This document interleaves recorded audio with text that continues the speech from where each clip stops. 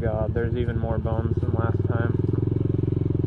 Looks like we've already passed it a while ago, but that tree is gone. Oh! It's just dark as hell in here. I'm probably gonna turn around soon.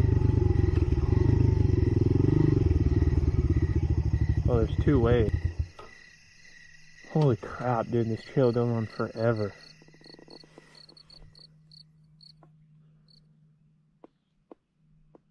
It just got really quiet really fast.